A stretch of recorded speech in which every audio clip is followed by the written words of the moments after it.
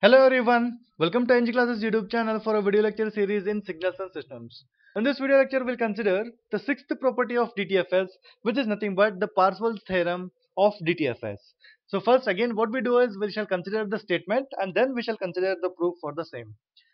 Yes, first let me consider the statement and the statement goes something like this. If x of n, the given discrete time signal x of n leads to if x of n leads to x of k by taking DTFS then then 1 over n so this is 1 over n summation n that is small n over the range capital N magnitude of x of n square this is equal to summation k over the range capital N magnitude of x of k square so this is the definition of Parseval's theorem. So now I shall consider, I have to consider the proof for the same. So let me consider the proof.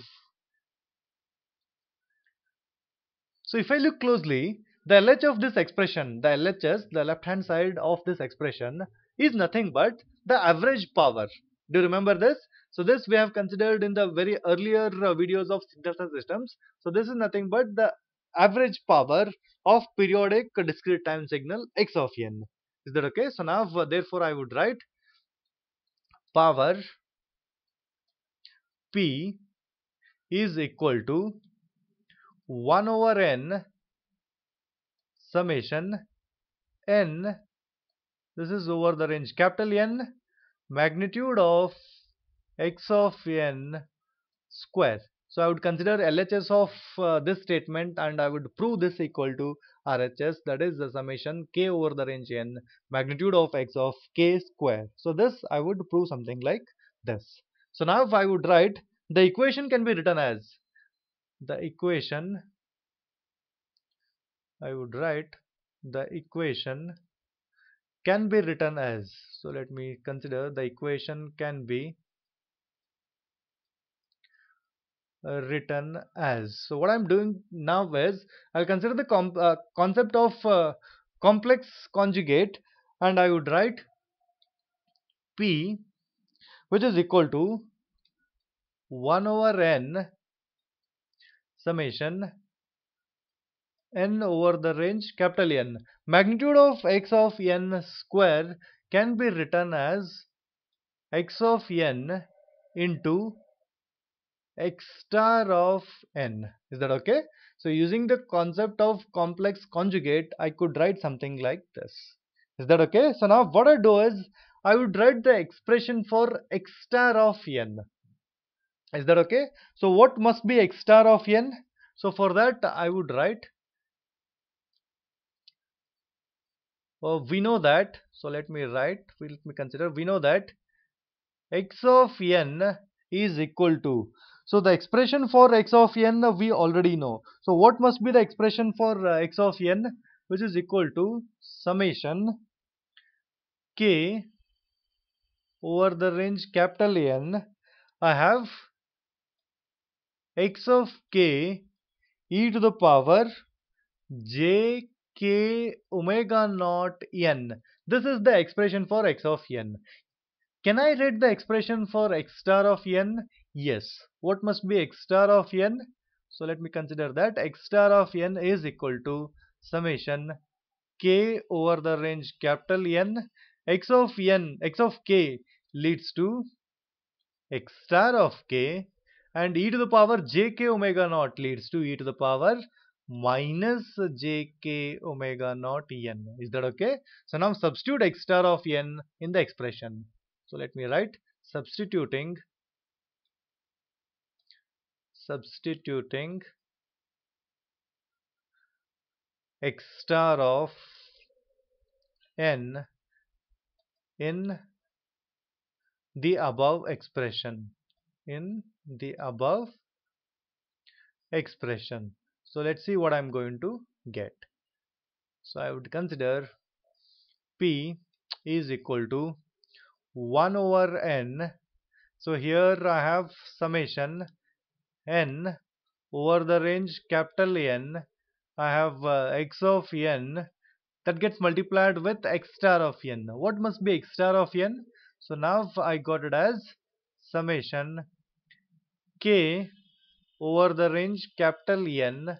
I have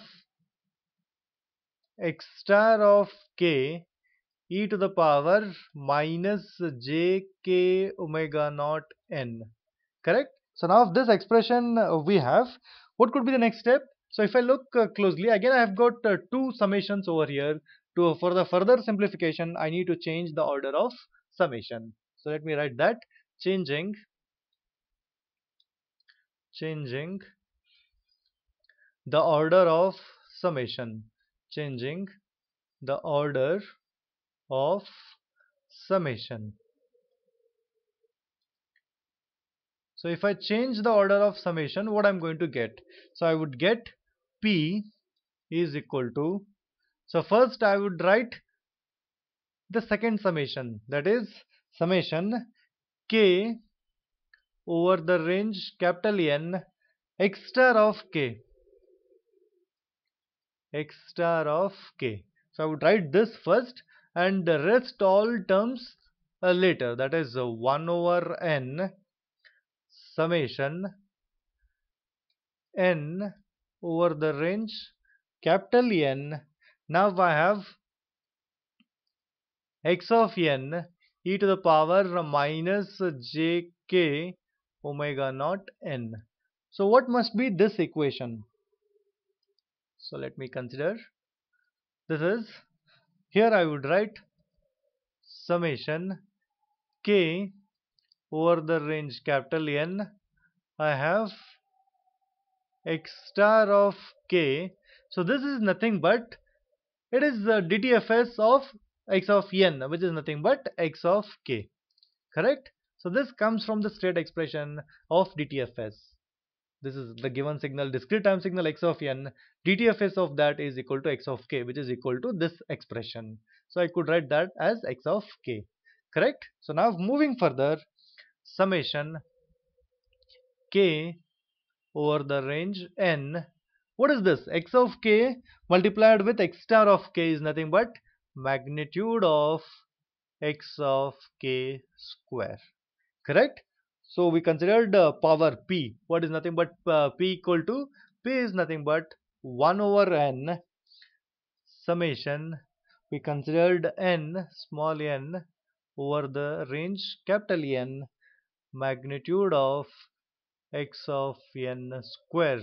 And we made it equal to summation k over the range capital N magnitude of x of k square. Hence the proof so finally I would write hence the proof.